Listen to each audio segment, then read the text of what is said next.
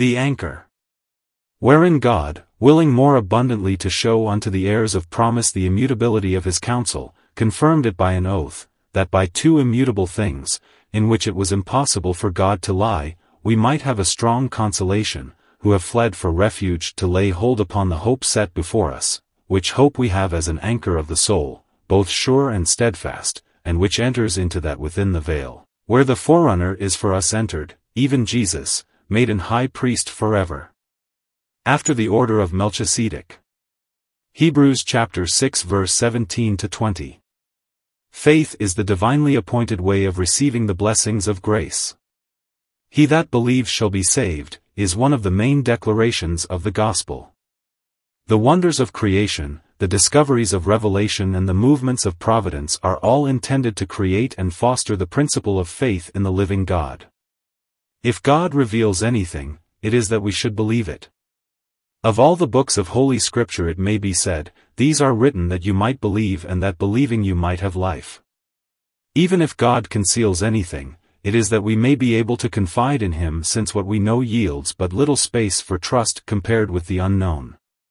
Providence sends us many different trials, all meant to exercise and increase our faith and, at the same time, in answer to prayer, it brings us varied proofs of the divine faithfulness which serve as refreshments to our faith. Thus the works and the words of God cooperate to educate men in the grace of faith. You might imagine, however, from the doctrine of certain teachers, that the gospel is, whoever doubts shall be saved, and that nothing could be more useful or honorable than for a man's mind to hang in perpetual suspense, sure of nothing, confident of the truth of no one, not even of God, himself. The Bible raises a mausoleum to the memory of its heroes and writes upon it as their epitaph, these all died in faith. But the modern gospel derides faith and sets up, instead, the new virtue of keeping abreast with the freshest thought of the age. That simple trust in the truthfulness of God's word, which our fathers inculcated as the basis of all religion, would seem to be at a discount, now, with men of mind who are able to cope with modern thought. Shame upon professed ministers of Christ that some of these are worshipping at this shrine and are laboring after the repute of being intellectual and philosophical by scattering doubts on all sides. The doctrine of the blessedness of doubt is as opposed to the gospel of Jesus Christ as darkness is to light, or Satan to Christ, himself. It is invented as a quietus to the consciences of those proud men who refuse to yield their minds to the rule of God. Have faith in God, for faith is, in itself, a virtue of the highest order. No virtue is more truly excellent than the simple confidence in the eternal which a man is helped to exhibit by the grace of the Holy Spirit. No, not only is faith a virtue in itself, but it is the mother of all virtues. He that believes becomes strong to labor, patient to suffer, fervent to love, earnest to obey, zealous to serve. Faith is a root from which may grow all that can adorn the human character. So far from being opposed to good works, it is the ever-flowing fountain from where they proceed. Take faith away from the professed Christian and you have cut the sinew of his strength. Like Samson, you have shorn him of his locks and left him with no power either to defend himself or to conquer his foes. The just shall live by faith. Faith is essential to the vitality of Christianity and anything which weakens that faith weakens the very mainspring of spiritual power.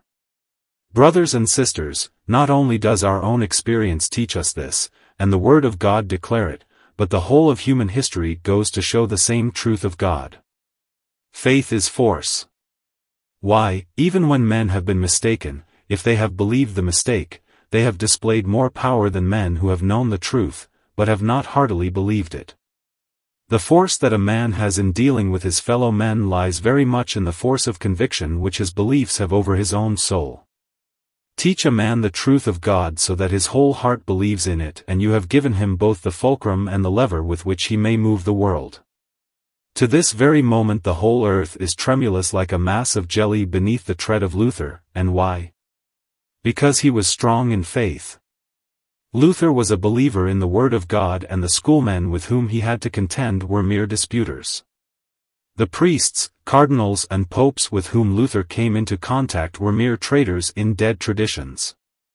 Therefore he smote them hip and thigh, with great slaughter. His whole manhood believed in what he had learned of God and as an iron rod among potter's vessels, so was he among the pretenders of his age. What has been true in history all along is most certainly true now. It is by believing that we become strong that is clear enough. Whatever supposed excellencies there may be in the much vaunted receptive condition of the mind, the equilibrium of a cultured intellect and the unsettled judgment of honest disbelief, I am unable to discern them. And I see no reference to them in Scripture. Holy Writ neither offers commendations of unbelief, nor presents motives nor reasons for its cultivation. Experience does not prove it to be strength in life's battle, or wisdom for life's labyrinth. It is near akin to credulity and, unlike true faith, it is prone to be led by the nose by any falsehood. Unbelief yields no consolation for the present and its outlook for the future is by no means comforting. We discover no intimation of a sublime cloudland, where men of self-appreciating brain power will eternally puzzle themselves and others. We hear no prophecy of a celestial hall of science where skeptics may weave fresh sophistries and forge new objections to the revelation of God. There is a place for the unbelieving, but it is not heaven. Coming to our text, whose tone is far removed from all uncertainty, we see clearly that the Lord does not desire us to be in an unsettled condition but would put an end to all uncertainty and questioning.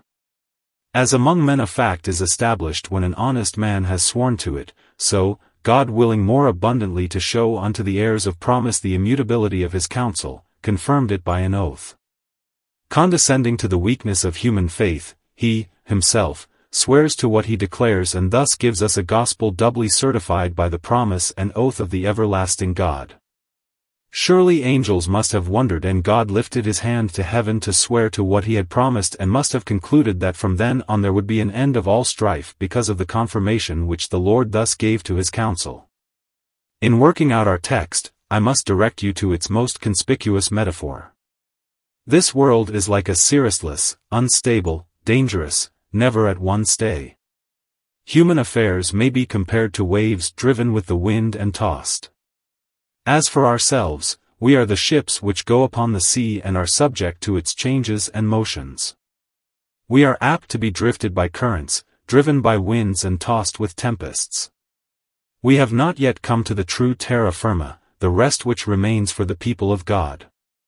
God would not have us carried about with every wind and, therefore, he has been pleased to fashion for us an anchor of hope most sure and steadfast, so that we may outride the storm. I shall not attempt to preach from the whole of the great text before us, for it would require seven years, at least, and a Dr. John Owen, or a Joseph Caryl to bring forth a tenth of its meaning. I am simply going to work out the one set of the truths of God suggested by the image of an anchor and may God grant that all of us, this morning, who know the meaning of that anchor may feel it holding us fast by its grip within the veil.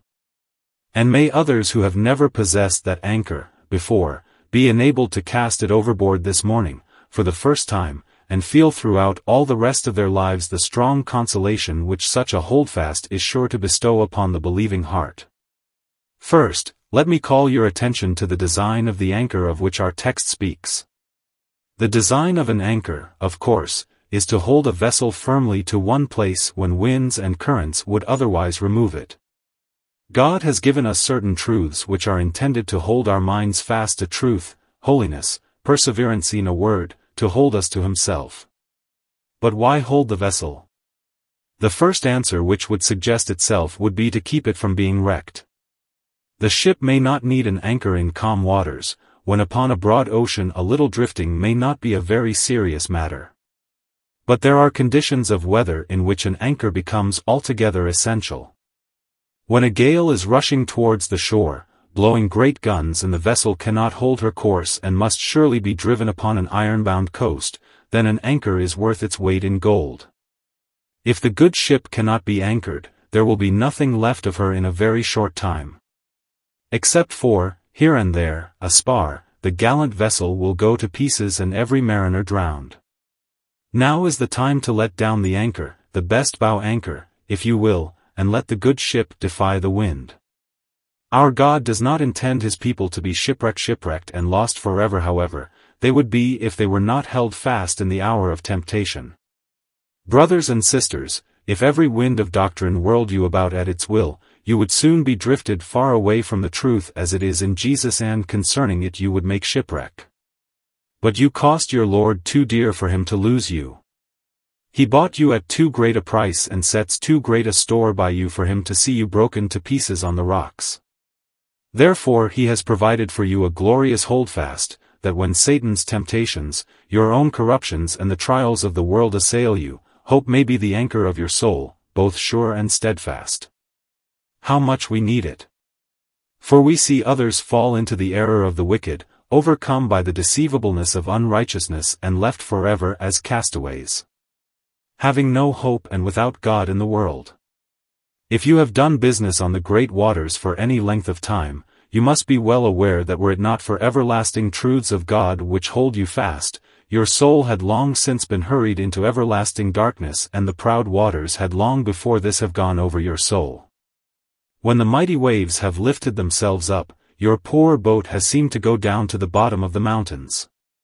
And had it not been for unchanging love and immutable faithfulness, your heart had utterly fainted. Nevertheless, here you are, today, convoyed by grace, provisioned by mercy, steered by heavenly wisdom and propelled by celestial power.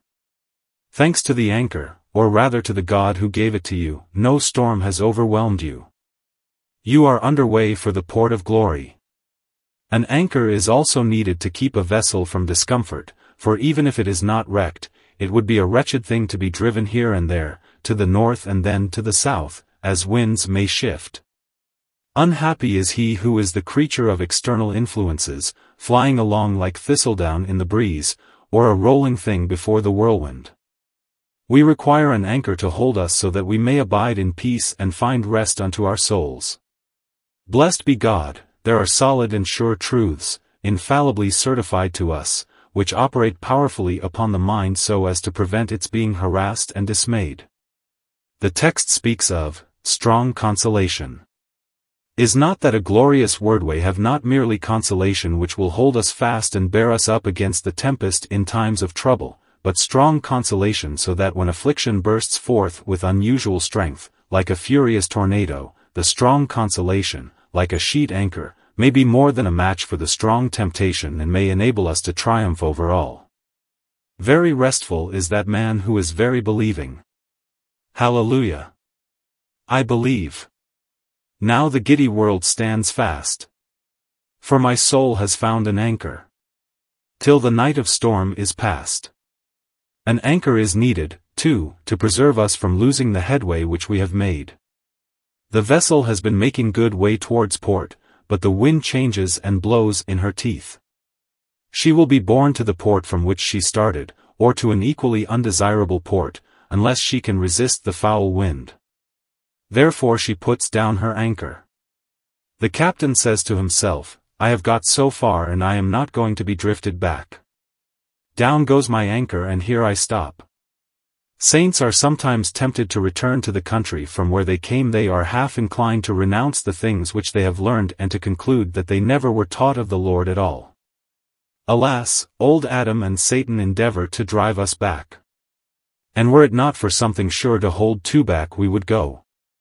If it could be proven to be, as certain cultivated teachers would have us believe, that there is nothing very sure, although black is black, it is not very black, and though white is white, it is not very white.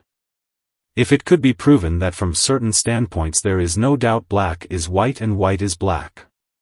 If it could be proven, I say, that there are no divine certainties, no infallible truths then we might willingly surrender what we know or think we know, and wander about on the ocean of speculation the waifs and strays of mere opinion. But while we have the truth of God taught to our very souls by the Holy Spirit, we cannot drift from it, nor will we, though men count us fools for our steadfastness. Brothers and sisters, aspire not to the charity which grows out of uncertainty. There are saving truths of God and there are damnable heresies. Jesus Christ is not yes and no. His gospel is not a cunning mixture of the gall of hell and the honey of heaven flavored to the taste of bad and good.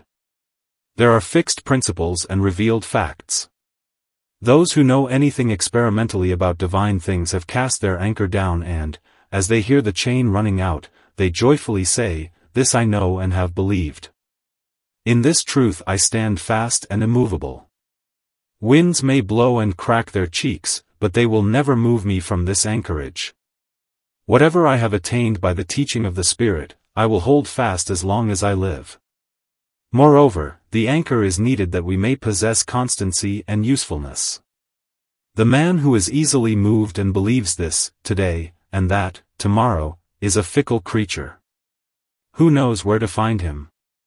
Of what use is he to the younger sort and the feeble folk, or, indeed, to anyone?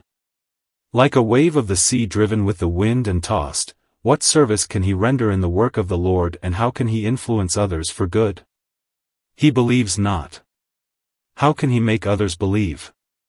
I believe that the orthodox disbeliever is more largely a creator of infidelity than the heterodox believer in other words I fear that the man who earnestly believes in error has a less injurious influence upon others than the man who holds the truth of God in indifference and secret unbelief. This man is tolerated in godly company, for he professes to be one of ourselves and he is, therefore, able to stab at piety beneath her shield. The man knows nothing, certainly, but only hopes and trusts. And when defending truth, he allows that much may be said on the other side, so that he kisses and stabs at the same time. Our God has provided us an anchor to hold us fast lest we be shipwrecked, lest we be unhappy, lest we lose the progress we have made and lest our character should become unstable and, therefore, useless. These purposes are kind and wise. Let us bless the Lord who has so graciously cared for us. 2. Secondly, I invite you to consider the make of the anchor. That by two immutable things, in which it was impossible for God to lie, we might have a strong consolation. Anchor making is very important work. The anchor smith has a very responsible business, for if he makes his anchor badly, or of weak material, woe to the shipmaster when the storm comes. Anchors are not made of cast iron, not of every kind of metal that comes to hand, but they are made of worked iron, strongly welded and of tough, compact material which will bear all the strain that is likely to come upon it at the worst of times. If anything in this world should be strong, it should be an anchor, for upon its safety and life often depend. What is our anchor? It has two great blades or flukes to it, each of which acts as a holdfast. It is made of two divine things. The one is God's promise, a sure and stable thing, indeed. We are very ready to take a good man's promise, but perhaps the good man may forget to fulfill it, or be unable to do so neither of these things can occur with the Lord he cannot forget and he cannot fail to do as he has said. Jehovah's promise, what a certain thing it must be. If you had nothing but the Lord's bare word to trust to, surely your faith should never stagger. To this sure word is added another divine thing, namely, God's oath. Beloved, I scarcely dare speak upon this sacred topic. God's oath, his solemn assertion, his swearing by himself. Conceive the majesty, the awe, the certainty of this. Here, then, are two divine assurances, which, like the flukes of the anchor, hold us fast. Who dares doubt the promise of God? Who can have the audacity to distrust his oath? We have for our anchor two things, which, in addition to their being divine, are expressly said to be immutable that is, two things which cannot change. When the Lord utters a promise, he never runs back from it gifts and calling of God are without repentance. Has he said and shall he not do it? Has he promised and shall it not stand fast? He never changes and his promise abides from generation to generation. Then comes the oath, which is the other immutable thing. How could that be altered? God has pledged the honor of his name and it is not supposable that, under such circumstances, he will retract his engagements and deny his own declarations. Ah, no. The gospel bears my spirit up. A faithful and unchanging God lays the foundation for my hope. In oaths, and promises, and blood. Notice, next, of these two things that is said wherein it is impossible for God to lie. It is inconsistent with the very idea and thought of God that he should be a liar. A lying God would be a mistake in language, a self-evident contradiction. It cannot be, God must be true true in his nature, true in his thoughts, true in his designs, true in his acts and assuredly true in his promises and true in his oaths. Wherein it is impossible for God to lie. Oh, beloved, what blessed holdfasts have we here! If hope cannot rest on such assurances, what could it rest upon?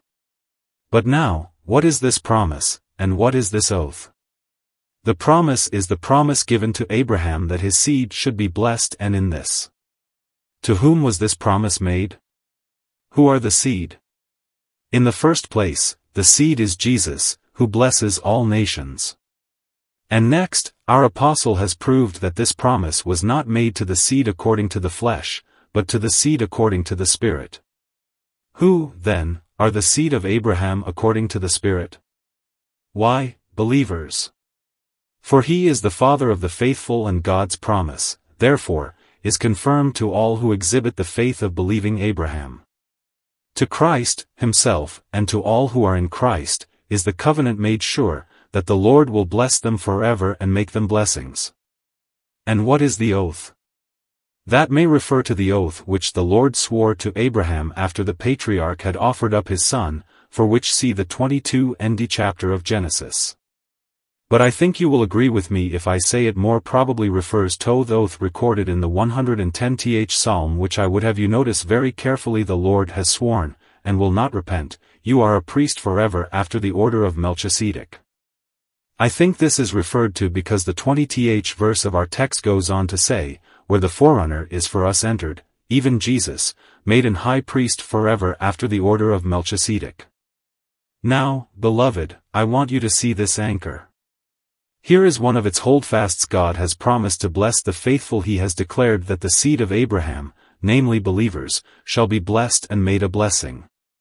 Then comes the other arm of the anchor which is equally strong to hold the soul, namely, the oath of the priesthood, by which the Lord Jesus is declared to be a priest forever on our behalf not an ordinary priest after the manner of Aaron, beginning and ending a temporary priesthood but without beginning of days or end of years, living on forever.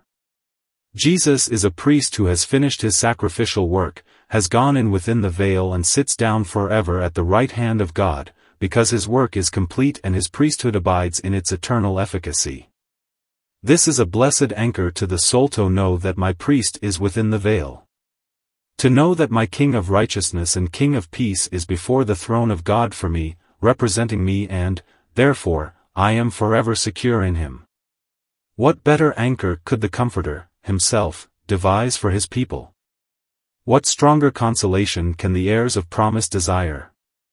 3. We have no time to linger, though tempted to do so and, therefore, I ask you to advance in the third place to notice our hold of the anchor. It would be of no use for us to have an anchor, however good, unless we had a hold of it. The anchor may be sure and may have a steadfast grip, but there must be a strong cable to connect the anchor with the ship. Formerly it was very general to use a hemp cable, but large vessels are not content to run the risk of breakage and, therefore, they use a chain cable for the anchor. It is a grand thing to have a solid substantial connection between your soul and your hopito have a confidence which is surely your own from which you can never be separated. Our text speaks plainly about this laying hold of the anchor in the end of the 18th verse that we might have a strong consolation, who have fled for refuge to lay hold upon the hope set before us. We must personally lay hold on the hope. There is the hope, but we are bound to grasp it and hold it fast. As with an anchor, the cable must pass through the ring, and so be bound to it. So must faith lay hold upon the hope of eternal life. The original Greek signifies to lay hold by main force and so to hold as not to lose our hold when the greatest force would pull it from us. We must take firm hold of the firm truth of God. Ah, brothers and sisters, as some men have a cloudy hope, they would seem to have a very doubtful way of laying hold upon it. I suppose it is natural it should be so. For my part, I desire to be taught something certain and then I pray to be certain that I have learned it. Oh to get such a grip of the truth of God as that old warrior had of his sword, so that when he fought and conquered he could not separate his hand and his sword, for his hand clung to his sword as if it were glued to it. It is a blessed thing to get hold of the doctrine of Christ in such a way that you would have to be dismembered before it could be taken from you, for it has grown into your very self. Mind you have a sure hold of your sure anchor. Well, says one, but may we lay hold upon it? My answer is, the text says it is set before us to, lay hold of the hope set before us. You may grasp it for it is set before you. If any of you were very faint and hungry and came to a person's house and he said, Sit down, and you sat down at the table.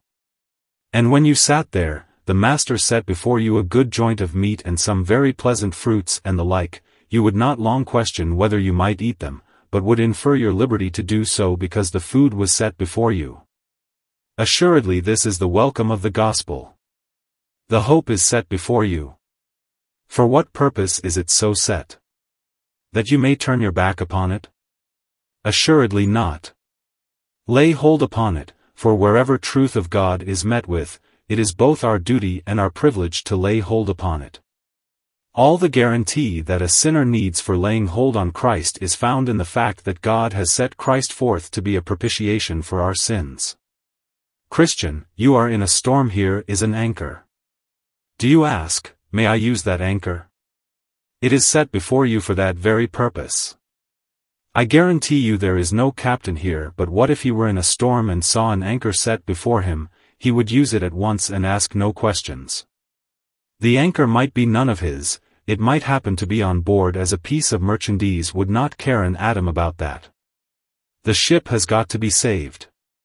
Here is an anchor, over it goes. Act thus with the gracious hope which God provides for you in the gospel of Jesus Christ. Lay hold on it now and evermore. Now, notice that our hold on the anchor should be a present thing and a conscious matter, for we read, which hope we have. We are conscious that we have it. No one among us has any right to be at peace if he does not know that he has obtained a good hope through grace. May you all be able to say, which hope we have.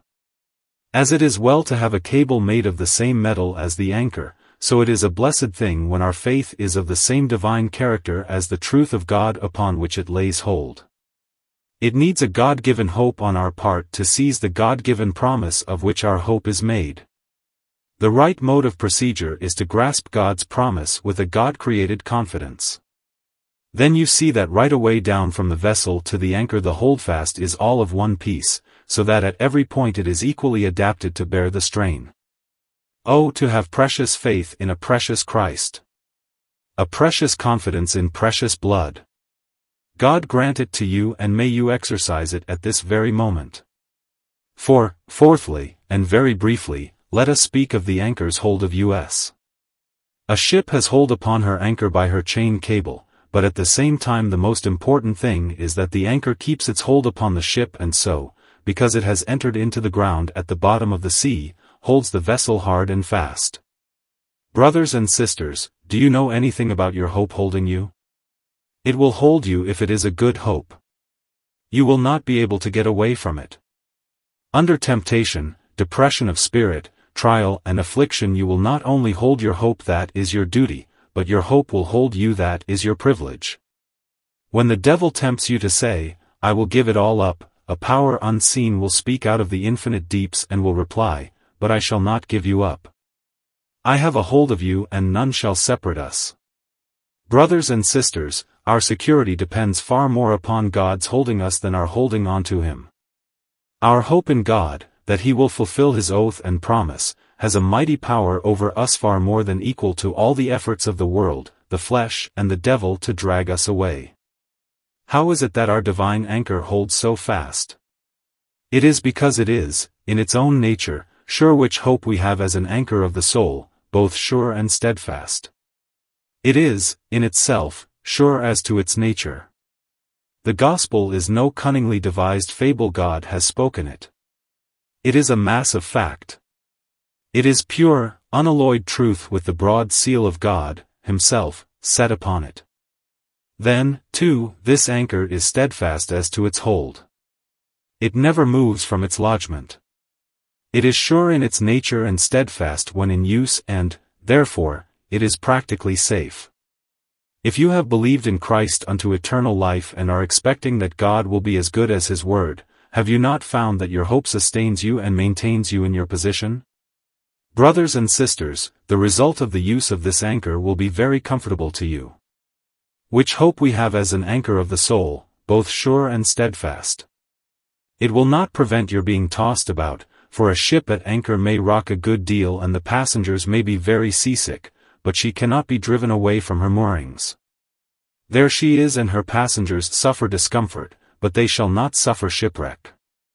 A good hope through grace will not altogether deliver you from inward conflicts, no, it will even involve them. It will not screen you from outward trials it will be sure to bring them. But it will save you from all real peril. I may say to every believer in Jesus that his condition is very like that of the landsman on board ship when the sea was rather rough and he said, Captain, we are in great danger, are we not? As an answer did not come, he said, Captain, don't you see great fear? Then the old seaman gruffly replied, Yes, I see plenty of fear, but not a bit of danger. It is often so with us. When the blinds are out and the storms are raging there is plenty of fear, but there is no danger. We may be much tossed, but we are quite safe, for we have an anchor of the soul both sure and steadfast which will not move. One blessed thing is that our hope has such a grip of us that we know it. In a vessel you feel the pull of the anchor and the more the wind rages the more you feel that the anchor holds you. Like the boy with his kite the kite is up in the clouds, where he cannot see it, but he knows it is there, for he feels it pull. So our good hope has gone up to heaven and it is pulling and drawing us towards itself. We cannot see our anchor, it would be of no use if we could see it its use begins when it is out of sight but it pulls and we can feel the heavenly pressure. And now, lastly, and best of all, the anchor's unseen grip, which enters into that within the veil. Our anchor is like every other, when it is of any use it is out of sight. When a man sees the anchor, it is doing nothing, unless it happens to be some small stream anchor or grapnel in shallow water. When the anchor is of use it is gone there it went overboard with a splash. Far down there, all among the fish, lies the iron holdfast, quite out of sight. Where is your hope, brothers and sisters? Do you believe because you can see? That is not believing at all. Do you believe because you can feel? That is feeling, it is not believing. But blessed is he that has not seen and yet has believed. Blessed is he who believes against his feelings, yes, and hopes against hope. That is a strange thing to do, hoping against hope, believing things impossible and seeing things invisible. He who can do that has learned the art of faith. Our hope is not seen, it lies in the waves, or, as the text says, within the veil. I am not going to run the figure too closely, but a mariner might say that his anchor is within the watery veil, for a veil of water is between him and it and so it is concealed. Such is the confidence which we have in God, whom having not seen we love. Let the winds blow, and billows roll. Hope is the anchor of my soul. But can I by so slight a tie? An unseen hope, on God rely? Steadfast and sure, it cannot fail. It enters deep within the veil. It fastens on a land unknown. And moors me to my Father's throne. Although our anchor is gone out of sight, yet, Thank God it has taken a very firm grip and entered into that which is within the veil. What hold can be equal to that which a man has upon his God when he can cry, You have promised, therefore do as you have said? What grasp is firmer than this, Lord, you have sworn it, you cannot run back. You have said that he that believes in you is justified from all sin. Lord, I believe you, therefore be pleased to do as you have said. I know you cannot lie and you have sworn that Christ is a priest forever.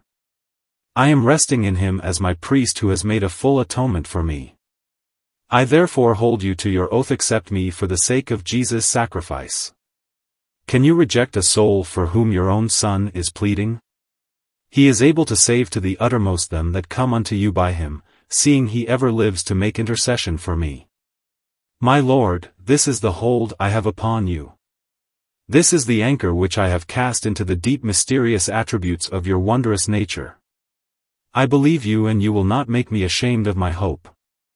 Oh, brothers and sisters, what a hold you have upon the living God when you rely on his oath and promise. Thus you hold him as Jacob held the angel and the blessing you will surely win at his hands. Note next, that when an anchor has a good grip down below, the more the ship drags, the tighter its hold becomes. At first, when the anchor goes down, perhaps it drops upon a hard rock and there it cannot bite, but, by and by, it slips off from the rock and enters into the bottom of the sea. It digs into the soil and, as the cable draws it on, it goes deeper and deeper till the anchor almost buries itself. And the more it is pulled upon, the deeper it descends. The anchor gets such a hold, at last, that it seems to say, Now, Boreas, blow away, you must tear up the floor of the sea before the vessel shall be let go. Times of trouble send our hope deep down into fundamental truths of God. Some of you people who have never known friction, you rich people who never know need, you healthy folks who were never ill a week you have not half a grip of the glorious hope that the tried ones have. Much of the unbelief in the Christian church comes out of the easy lives of professors. When you come to rough it, you need the solid gospel. A hard-working hungry man cannot live on your whipped creams and your fine drink she must have something solid to nourish him and so the tried man feels that he must have a gospel which is true and he must believe it to be true, or else his soul will famish. Now, if God promises and swears, have we not the most solid of assurances? The firmest conceivable faith is no more than the righteous due of the thrice holy and faithful God. Therefore, brothers and sisters, when greater trouble comes, believe the more firmly. And when your vessel is tossed in deeper water, believe the more confidently. When the head is aching and the heart is palpitating. When all earthly joy is fled and when death comes near, believe the more. Grow surer and surer that your Father cannot lie, yes, let God be true and every man a liar. In this way you will obtain the strong consolation which the Lord intends you to enjoy. The text concludes with this very sweet reflection, that though our hope is out of sight, we have a friend in the unseen land where our hope has found its hold. In anxious moments a sailor might almost wish that he could go with his anchor and fix it firmly. That he cannot do, but we have a friend who has gone to sea to everything for us. Our anchor is within the veil it is where we cannot see it but Jesus is there and our hope is inseparably connected with his person and work. We know of a certainty that Jesus of Nazareth, after his death and burial, rose from the grave and that forty days afterwards, in the presence of his disciples, he went up into heaven and a cloud received him. We know this as an historical fact and we also know that he rose into the heavens as the comprehensive seed of Abraham in whom are found all the faithful. As he has gone there, we shall surely follow, for he is the first fruits of the full harvest. According to the text, our Lord Jesus has gone within the veil as our high priest. Now, the high priest within the veil is in the place of acceptance on our behalf. A Melchizedek high priest is one who has boundless power to bless and to save unto the uttermost. Jesus Christ has offered one bloody sacrifice for sin, namely, himself, and now he sits down at the right hand of God forever, even the Father. Brothers and sisters, he reigns where our anchor has entered. We rest in Christ's finished work, his resurrection power and his eternal kingship. How can we doubt, after this? We are next informed that Jesus has gone within veil as the forerunner. What is a forerunner if there are not others to run after him? Jesus has gone to lead the way. He is the pioneer, the leader of the great army, the first fruits from the dead. And if he has gone to heaven as a forerunner, then we who belong to him will follow after. Should not that reflection make our hearts glad? We are told next that as the forerunner our Lord has for us entered that is entered to take possession in our name. When Jesus Christ went into heaven, he did, as it were, look around on all the thrones and all the palms and all the harps and all the crowns, and said, I take possession of all these in the name of my redeemed. I am their representative and claim the heavenly places in their names. As surely as Jesus is there, the possessor of all things, so shall we, also, each one, come to his inheritance in due time. Our Lord Jesus, by his intercession, is drawing us to heaven and we have only to wait a little while and we shall be with him where he is. He pleads for our home bringing and it will come to pass before long. No sailor likes his anchor to come home, for if it does so in a storm, matters look very ugly.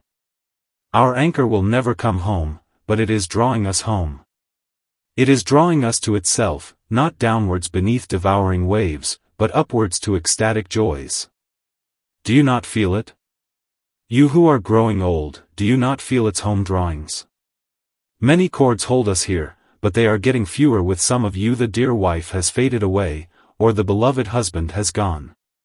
Many of your children have gone, too, and a host of friends. These are all helps to draw you upward. I think at this very moment you must feel as if your boat were about to change by some magic power from a ship, which floats the waters to an eagle which can fly the air. Have you not often longed to mount while singing? Oh that we now might grasp our guide. Oh that the word were given. Come, Lord of hosts, the waves divide and land us all in heaven. My cable has grown shorter of late, a great many of its links have vanished. I am nearer my hope that when I first believed. Every day hope nears fruition. Let our joy in it become more exultant. A few more weeks or months and we shall dwell above. And while we shall need no anchor to hold us fast, we shall eternally bless that divine condescension which produced such a holdfast for our unstable minds while tossed upon this sea of care. What will those of you do who have no anchor? A storm is coming on. I see the lowering clouds and hear the distant hurricane. What will you do?